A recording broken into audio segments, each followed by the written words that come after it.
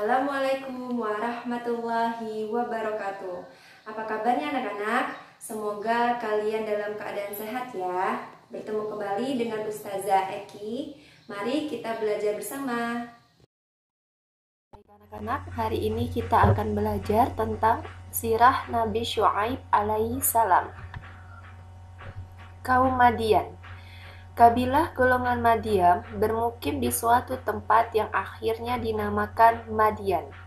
Letaknya di dekat pantai, Laut Merah di tenggara, Sungai Sin te, Letaknya di dekat pantai Laut Merah di tenggara Gunung Sinai. Saat ini kawasan tersebut terletak di daerah Yordania yang berbatasan dengan Palestina. Kaum Madian memenuhi kebutuhan sehari-harinya dengan melakukan kegiatan perdagangan, pertanian. Namun, dalam melakukan kegiatan perdagangan, mereka sering melakukan kecurangan. Jika membeli, mereka di jika mereka membeli jika membeli mereka minta barang dilebihkan. Saat menjual, mereka mengurangi takaran barang yang dijual. Nasihat Jangan berlaku curang. Perilaku curang sering kita temukan dalam kehidupan. Padahal sejak zaman dahulu Allah telah melarang perbuatan tersebut. Sempurnakanlah takaran dan janganlah kamu merugikan orang lain. Dan timbanglah dengan timbangan yang benar. Dan janganlah kamu merugikan manusia dengan mengurangi hak-haknya. Siapakah yang diutus Allah untuk mengantarkan kaum Madian kembali ke jalan yang benar? Apakah kaum Madian akan mendengar dan melaksanakan tuntunan Allah tersebut? Lelaki pilihan Kepada kaum Madian, Allah mengutus seorang rasul dari kalangan mereka sendiri. Beliau adalah Shu'aib bin Yashkar, Ibnu Lawi, Ibnu Yakub, Ibnu Ishak bin Ibrahim, Berdasarkan silsilahnya, Syuaib adalah cicit Nabi Ibrahim alaihi salam. Allah Subhanahu wa taala mengangkat Syuaib dengan Syuaib sebagai nabi untuk mengajak kaum Madian kembali ke jalan yang lurus, jalan yang diridhoi oleh Allah Subhanahu wa taala. Tanah yang subur dan makmur, keluarga yang sehat dan sejahtera, serta nikmat lain yang tidak dapat dihitung hendaknya diimbangi dengan rasa syukur kepada Allah Subhanahu wa taala yang Maha Pemurah dan melipat gandakan nikmat dan karunia-Nya. Jika manusia itu tidak mau bersyukur, enggan pula kembali ke jalan yang benar dan mengikuti perintah-perintah Allah, maka Allah Subhanahu wa taala akan mencabut karunia dan semua kenikmatan itu. Allah Subhanahu wa taala akan menurunkan azab kepada mereka yang kufur terhadap nikmatnya. Pengemban risalah Allah akan mengutus seorang rasul yang mengemban risalahnya jika keadaan suatu kaum telah jauh dari hukum-hukum Allah. Dan kepada penduduk Madian, kami utus saudara mereka Shu'aib. Allah Subhanahu wa taala menganugerahkan kemandaian berbicara di depan umum kepada Nabi Shu'aib. Kepandaian itu menjadi bekal Shu'aib untuk berdakwah kepada kaum Madian. Khotibul Anbiya Tujuan utamanya adalah pasar, bukan untuk berniaga. Ia sudah merasa cukup dengan apa yang ia miliki. Ia selalu bersyukur atas semua itu. Lelaki itu Nabi Shu'aib alaihissalam menatap sekeliling. Lelaki tegap, pemilik sinar mata ramah, tutur bahasa lembut, selembut perangainya, Ungkapan kata-katanya halus dan fasih, argumennya atau alasannya dalam berbicara yang kuat senantiasa membuat takluk lawan bicaranya. Tidak pernah sekalipun kata-kata kasar meluncur dari bibirnya yang selalu tersenyum.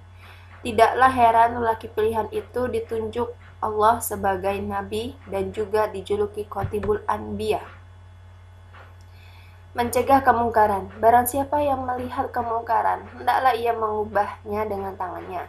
Jika dia tidak mampu, hendaklah dia mencegahnya dengan lisannya. Jika tak mampu mencegahnya, maka cegahlah dengan hati, dan itu adalah selama-lamanya iman. Sayangnya, yang beliau terima hanyalah sikap acuh tak acuh dari penduduk Madian. Sedikit pula dari mereka yang kemudian menjadi beriman. Berhasilkah dakwah Nabi Shu'aib Seruan sang Nabi. Sedikitnya jumlah orang yang beriman tidak menyuruhkan Nabi Shu'aib alaihissalam untuk berdakwah kepada kaumnya. Dalam setiap kesempatan, tidak henti-hentinya beliau mengajak untuk kembali ke jalan yang benar.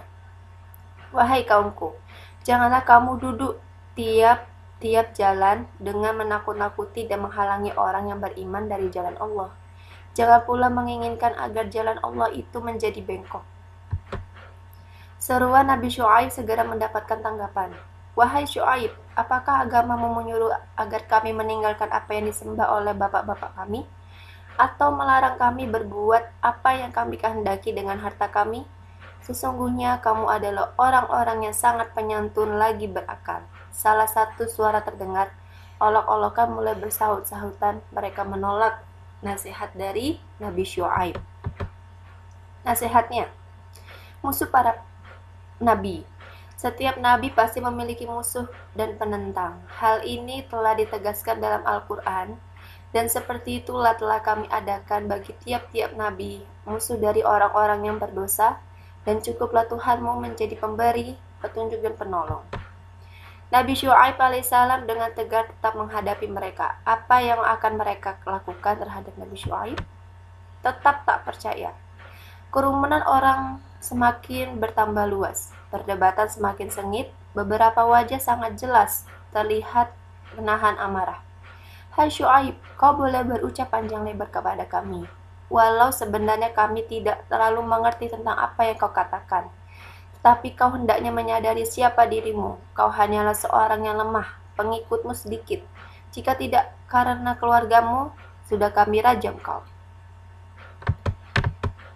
Terkunci. Mengapa kaum Madian tidak sedikit pun mengindahkan kata-kata nabinya? Sebab mereka tidak mendapatkan petunjuk. Allah Subhanahu wa taala berfirman, Allah telah mengunci hati dan pendengaran mereka sehingga penglihatan mereka telah tertutup dan mereka akan mendapatkan azab yang berat.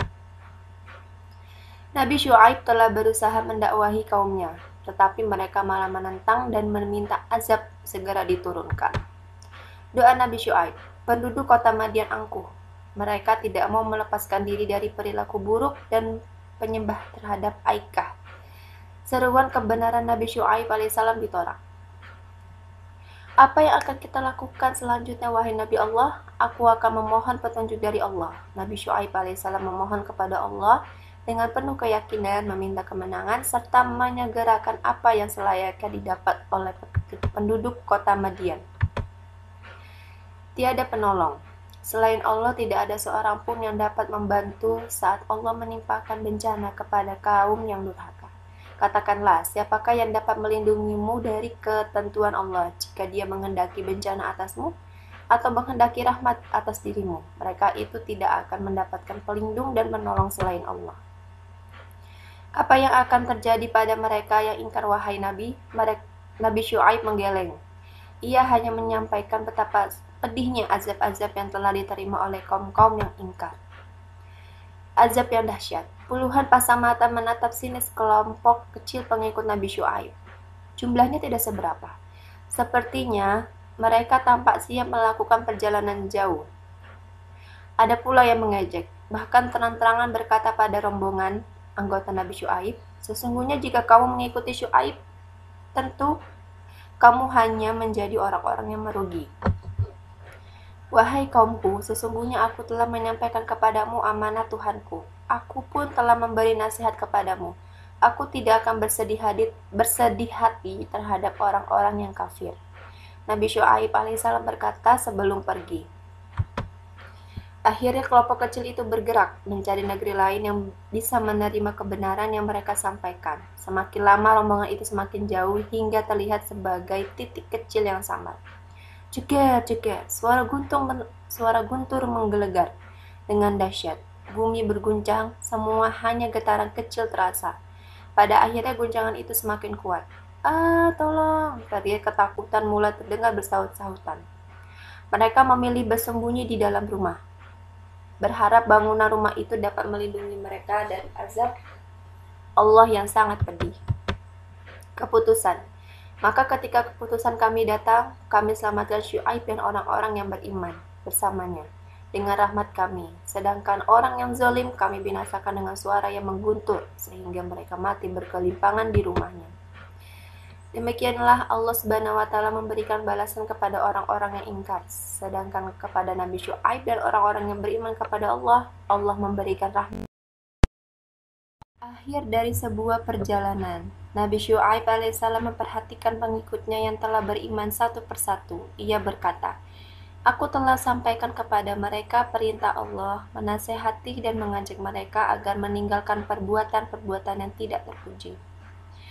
Nabi Syuaib kemudian melanjutkan, telah aku peringatkan pula siksaan Allah bila mereka tetap berkeras hati menutup telinga terhadap kebenaran ajaran-ajaran Allah yang aku bawa.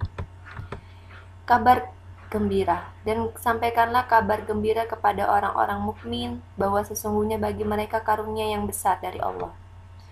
Orang-orang mukmin mengangguk, mereka semakin yakin atas janji Allah.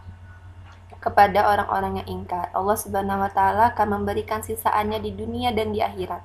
Sedangkan kepada orang-orang yang beriman, Allah Subhanahu wa taala akan menambah keberkahan dalam hidupnya. Baik anak-anak, itu saja kisah dari Nabi Syuaib Semoga anak-anak bisa faham dengan kisah ini dan bisa mengambil pelajaran yang ada.